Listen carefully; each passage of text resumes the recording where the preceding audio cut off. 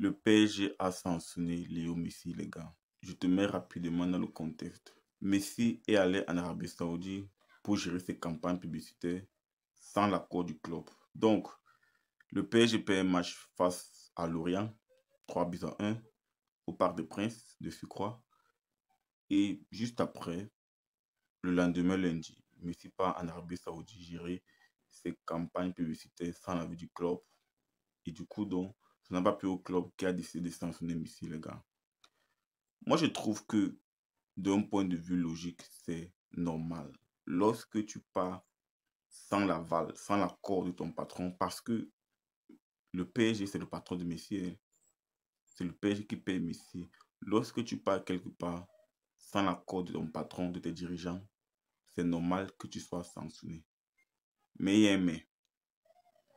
Le mais, c'est que vous pensez vraiment que si Messi avait prolongé au PSG, vous pensez que le PSG devait le sanctionner? Vous y pensez vraiment? Vous y pensez vraiment? Moi, je n'y crois pas. Moi, je pense tout simplement que le PSG l'a fait parce que ils estiment que entre Messi et eux, c'est terminé. C'est terminé.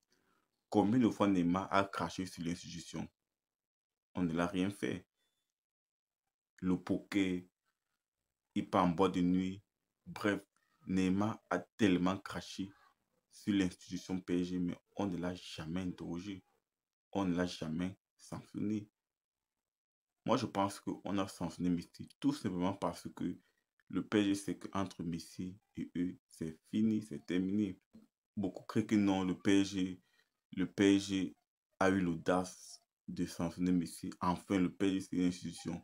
Mais il faut arrêter. Le PSG a sanctionné Messi parce qu'ils estiment que entre Messi et eux, c'est terminé. C'est comme ça que moi je vois les choses.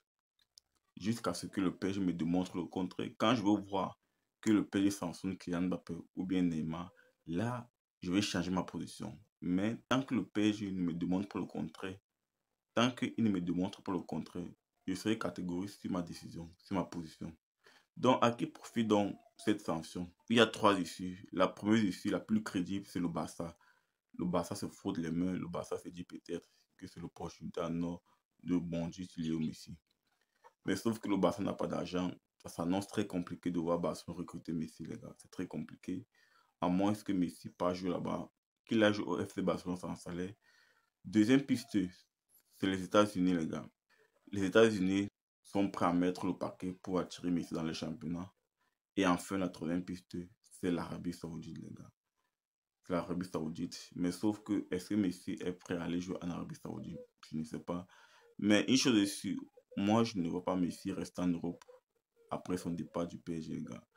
Je ne vois vraiment pas Messi rester en Europe. Quel club peut payer Messi? Il n'y en a personne. Personne. Du coup, donc, il n'y a que Barcelone, mais Barcelone n'a pas d'argent, a priori. Moi, je le vois plus aller aux États-Unis. Après, partage-moi ton ressenti en commentaire. Où est-ce que tu vois Messi rebondir? Partage-moi ton ressenti. Et si ce n'est pas encore fait, n'hésite pas de t'abonner et d'activer la cloche de notification pour ne rien manquer des prochaines vidéos. Ce sont, se dit à très bientôt pour notre vidéo. Ciao, ciao.